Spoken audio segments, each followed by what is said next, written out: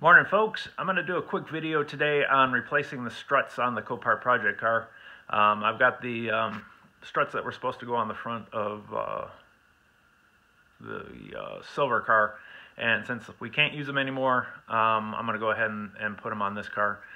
Anyhow, um, I'm going to set you up on a tripod. It should go pretty easy. Um, I had actually tried putting these struts on uh, um, Iris the other day because Iris needs uh, new struts. And I found out that uh, the fronts are very specific as far as the wheel size. Um, the struts that I have are only for 16 and 17 inch wheels. Um, 18 inch wheels take a different strut. So um, they were rubbing, the tires on Iris were rubbing on the strut tower here. So these should fit fine on the front of Black Beauty and uh, we're going to go ahead and throw them on there since I really have nothing else to do with them. And uh, Black, Beauty, Black Beauty could probably use a new set of struts in front. So we're going to go ahead and throw them on. I'm going to put you on the tripod, and uh, you can just follow along.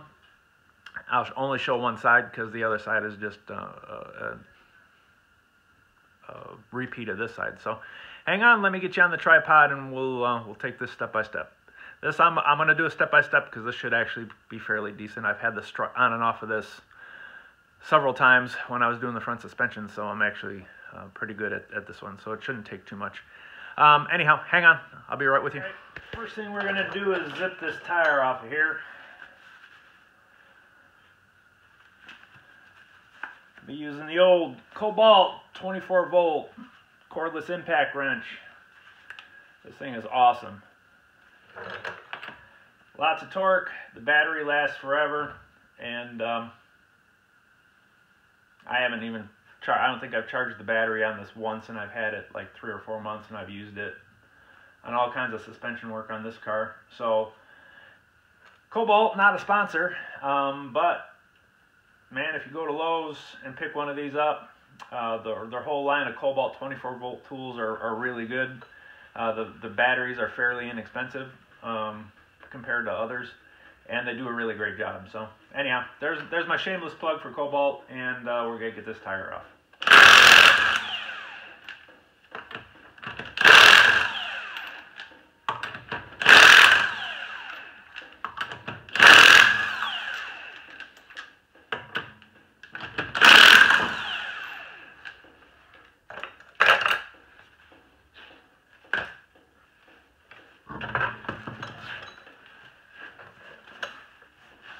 Alright, the next thing we're going to do is going to, uh, you guys, see if I can get you in here a little bit.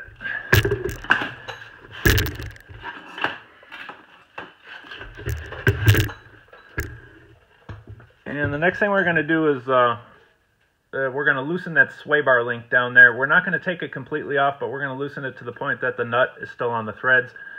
We're talking about that right there. Um, we're going to get that buzzed off, and that'll allow the uh, lower control arm uh, to move up and down a little bit, and then uh, we'll start uh, taking the uh, fasteners for the uh, the strut off. So, okay, hang on. Fasteners on these replacement sway bar links that I put on here are 14 millimeter. Um, some can be as big as a 17 millimeter. I guess it just depends. Um, your mileage may vary, but these are 14, so I'm going to do this kind of unconventionally because it's easier just using the power equipment to get these off of here or get them loosened up. As soon as I get this socket on there. So I'm going to reach, go from underneath with the power or with the uh, cordless uh, impact and then hold the nut from the top. And like I said, I'm not going all the way, I'm just uh, loosening them up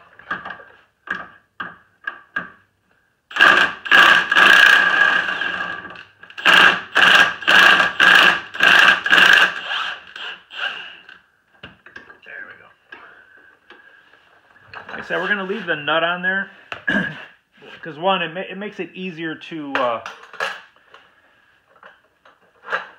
makes it easier to get the uh,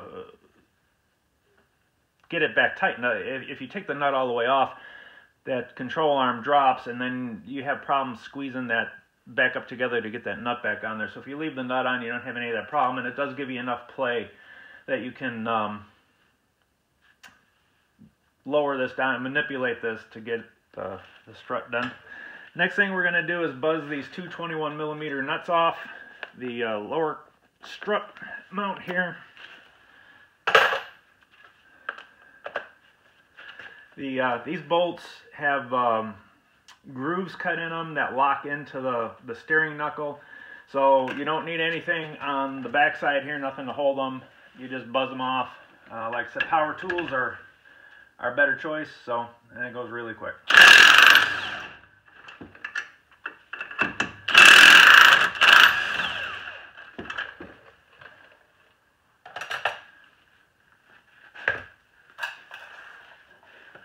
Then we get our big BFH and you tap the uh, bolts out. I usually like to start with the lower one first.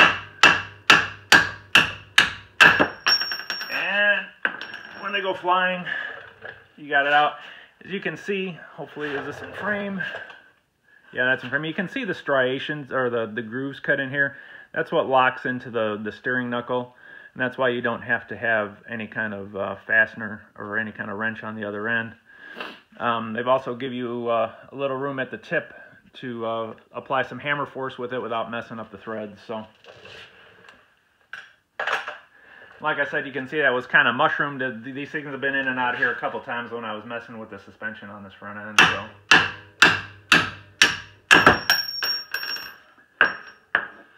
Success. Then we're going to go up top and um, take you up here with me. There's three 15 millimeter bolts holding the top of the strut on. There. These three right here. So we'll buzz those off and uh, we'll get the, the strut out of there.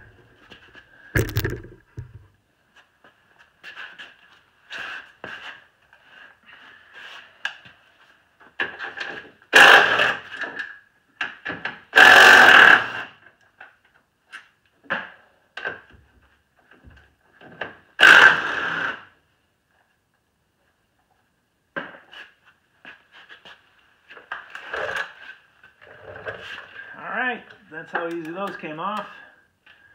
And simply pull this out like that, and out it comes. As you can see, this thing has seen better days. A lot of rust and rust jacking out from underneath it. Um, I, I mean, they're not horrible. Actually, the ones on my wife's car are actually in worse shape. The boots are split. But the uh, the pistons in these are, are shot. We get getting a lot of bounce with it, so it's time to replace them. And like I said, since I mean they, they could have gone longer, they really could have. Um, if I hadn't had these other ones ready to go in this, I probably wouldn't do this. Uh, so, like I said, um, it's going to get the benefit of some new uh, new struts simply because of the, the damage to the A-pillar on the silver car, uh, just turned that into a junker. So anyhow, um, we got the other one, the new one right here. This is the new one by Detroit Axle. And uh, all shiny and clean, ready to go in. And, and the installation is just the opposite of, of taking it out. We're going to stick it up in the hole there. We'll get these nuts on top of it to hold it up there and then we'll get the, the steering knuckle inside the groove down here.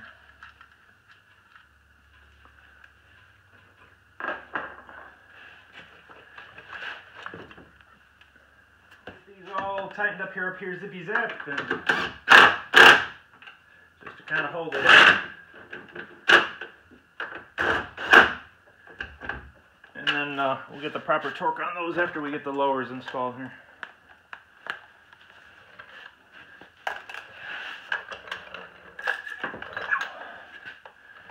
I can see the magnets on, on that need to be upgraded. All right, then uh, what we're going to do is get this loaded back in here. Now this can be kind of problematic trying to get these lined up.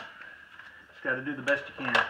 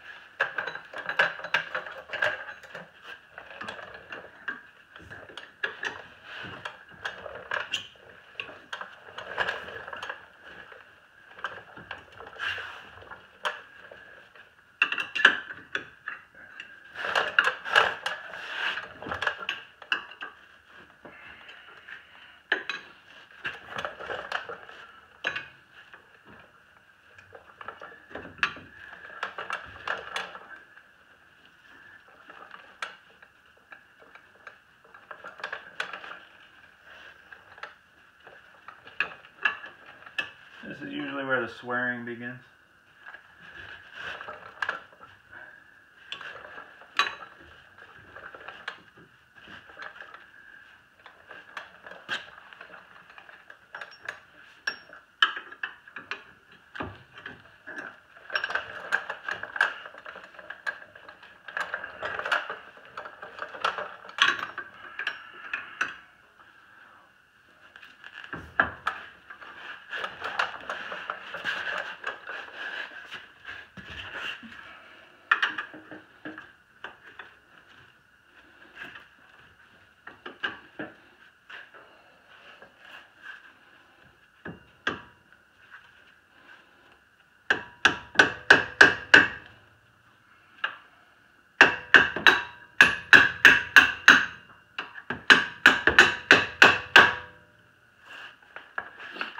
Got the lower one in.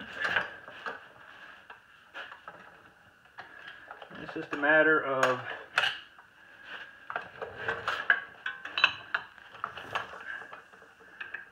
getting that spooged up there. All zippy zap, and then uh, we're good. We're gonna put the, the nuts on there that'll draw those bolts through. Um, and then we'll uh, tighten down our um, sway bar link and we'll tighten up all the bolts and essentially that's it. Um, that's all she wrote. Um, so, a little tray around here. And really all you got to do is get it to where the threads are poking through because the, the nuts will, uh, will draw the bolts into the joint and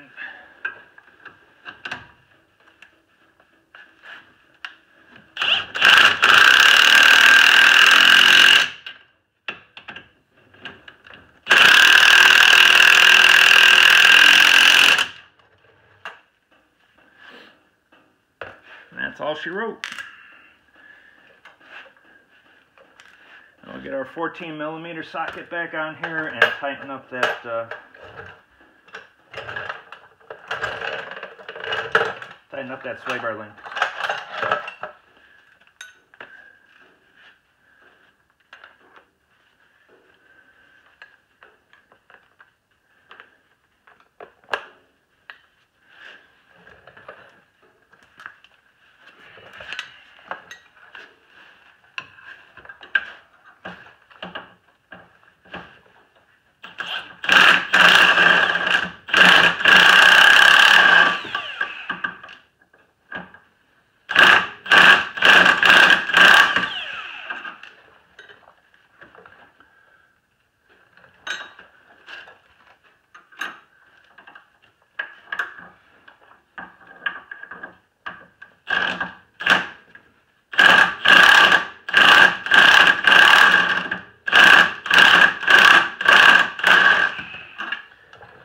Alrighty. Those sway bar links, you just want to compress them to where the uh, the bushing, the rubber bushing, is about compressed out to the size of the washer. No need to get all gorilla on them. Um, so, yeah, that's it. I'll put the, the tire on, and um, we're gonna tighten up our bolts on the top here.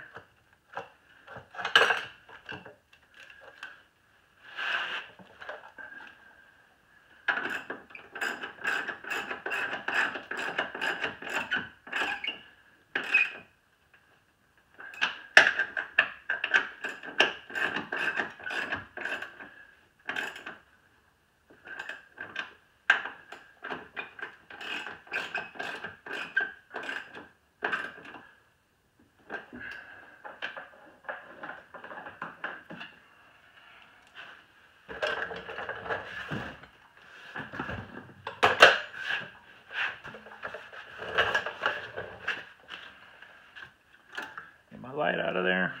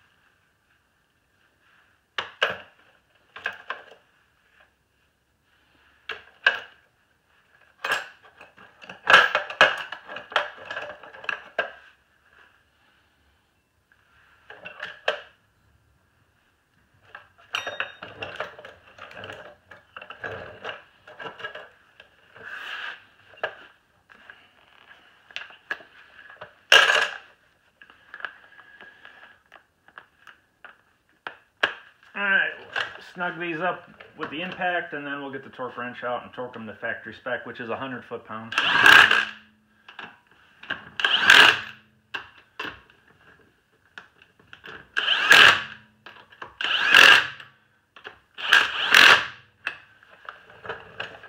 Alrighty, we'll get it off the jack stand and lower it down and torque the uh, lug nuts and we'll be good. You can see that there's plenty of space between the tire and this um, lower spring support. Um, when on Iris, these are 16 inch wheels, Iris has 18 inch wheels and you can see there's not two inches of space here. And Iris's tires were rubbing right along here. So um, we had to pull them back off. So anyhow I'm gonna I'm gonna stop her there. I won't bore you with lowering the car down and torquing the um, torquing the lug nuts that's how you change a strut on a 2008 Chevrolet Impala. This is the same procedure any, anywhere from uh, 2006 to 2013. Um, and it's the same procedure on a ton of cars out there, like the Oldsmobile Intrigue, uh, the Pontiac G6. Um, there's a ton, uh, the Monte Carlos, there's a ton of cars with this type of front end, this, the same get up. Um, and it's the same procedure for for pretty much all of them. Thanks so. for tuning in. Uh, we'll see you on the next one. The next thing for this is I'm going to swap doors on this with the parts car, and um, that way we're going to get rid of all these little paint chips. I will peel the um, the body side moldings off of the car off of this car, and we'll reattach them to the doors on the um, on the parts car, and that will maintain the original LT look. And we'll have some doors that don't need paint, and that will actually match the other paint here. So anyhow, thanks for coming along. We'll see you on the next one.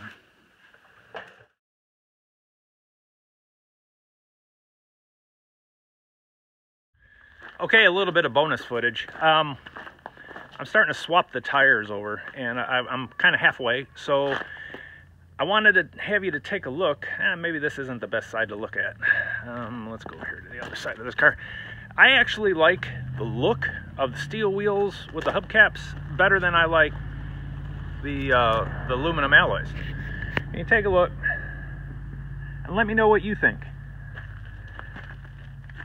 This is the, the parts cart because um, it's out in the sunlight. I get a little bit better exposure than in the garage. We can take a look at the, the actual car in the garage.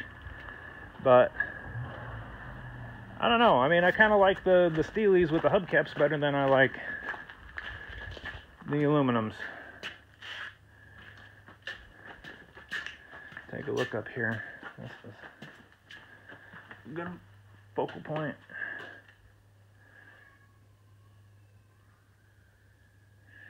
Yeah, well, tell me what you think. Leave some comments down in the comment box. Tell me what you think. Um, we're going to swap them over. Uh, uh, you know, the like I said, the, the cost of tires um, it makes it well worth the swap. But I actually kind of like the uh, the Steelies with the hubcaps. Look a little bit better. I never have been a fan of these alloys. Now, if they were these alloys, that would be a different story. The five spokers or the actually ten spokers. I like those aluminum alloys. I like those aluminum wheels. Um, these solid ones, I'm not too hot about. So like I said, we're going to switch them out just for the better set of tires. Um, I think it'll look just as good, if not better. Uh, in my opinion, like I said, the Steelies with the hubcaps look better. So, a little bit of bonus footage for you, and then uh, to have another video of me. Uh, we're going to swap these two doors for those two doors, and then um, two things will happen is that uh, the pinstriping will match we won't have this gap in the pinstriping and it will fix all of this paint chip rust problem that we have on the driver's door and the ding on the passenger door and the damage to the passenger door down here. So that'll fix those two things relatively easily and the paint will match the fender and the hood and all this side of the car and then uh, we'll have the body work back here to blend in. And uh, if we have to redo this little portion of pinstripe, so be it because I will be painting back here. We'll probably go ahead and remove this uh, pinstripe and redo it uh, when we paint this uh, quarter panel back here. So that's the plan. Um, that's better than kind of redoing the whole pinstriping on the side of the car because I do like the look of the pinstriping. We will be taking these body side moldings off um, these doors and putting them on those other doors since they don't have them. And um, I think they just, they 3M adhesive them on. You get them off a fishing line, so I think that'll be okay. So anyhow, there's the bonus footage. We'll see you on the next video. Thanks for tuning in. Hit the like button or the dislike button. Uh, leave a comment down below. Tell me what you liked or disliked, and uh, be sure to subscribe to my channel and the notifications to get uh, further updates. Thanks. Have a great day.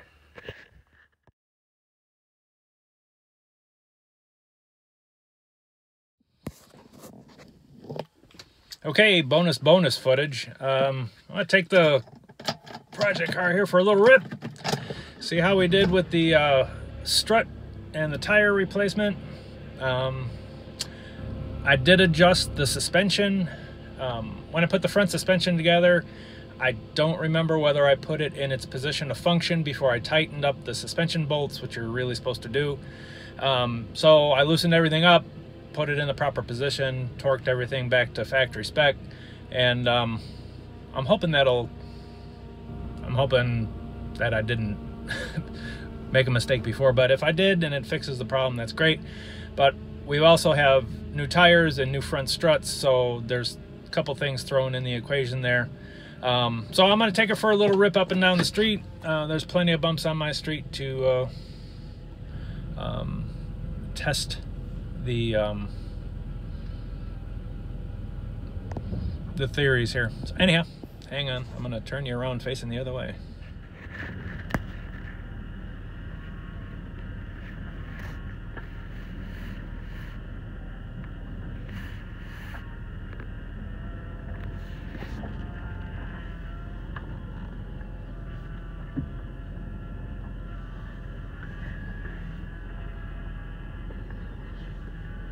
Kind of a slalom course here. I've got cars everywhere, Impalas everywhere. All right, so there we have all four Impalas that I own.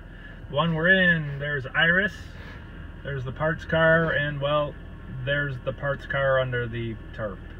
I guess it's a parts car now. Anyhow, I digress. All right, here we go. Back out onto the street.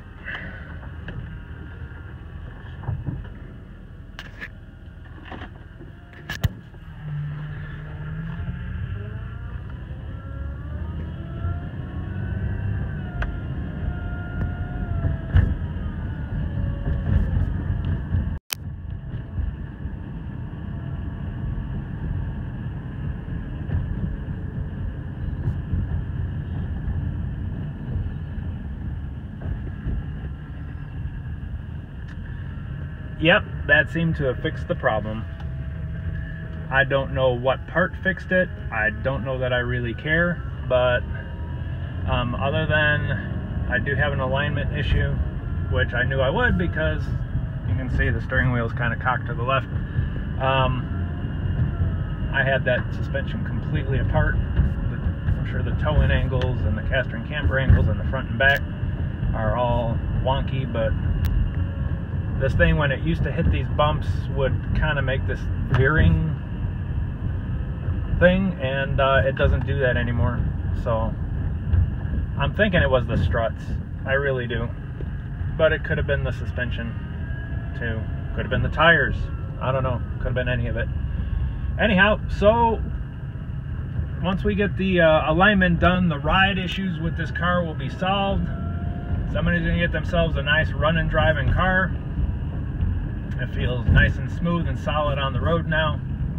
Other than, like I said, this little pull to the right, which we will fix within an alignment.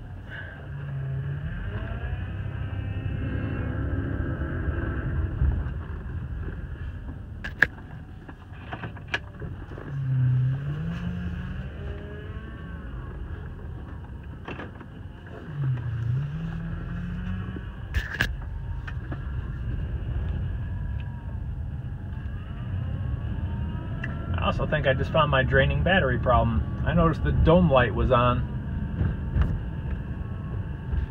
Here, turn that around. The dome light up there in the ceiling was like that. Turned the switch on the dashboard and now it's back off. So might have found my battery drain problem. Fixing all kinds of things here today.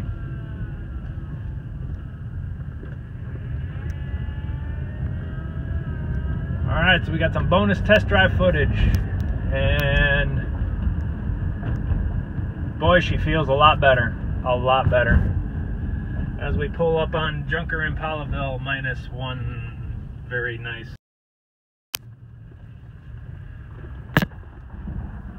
We'll pull this back in the garage and like I said earlier, the next step is going to be swapping doors. There you can see parts car has the alloys on it and I don't know that it'll go to the junkyard with those alloys on it. I might just start collecting spare tires and and run it to the junkyard on spares or broken tires or or something. Whoa, darkness. Lightness. Anyhow, thanks for tuning in again, and uh, we'll catch you on the next video, which will be swapping of the doors. Have a great day.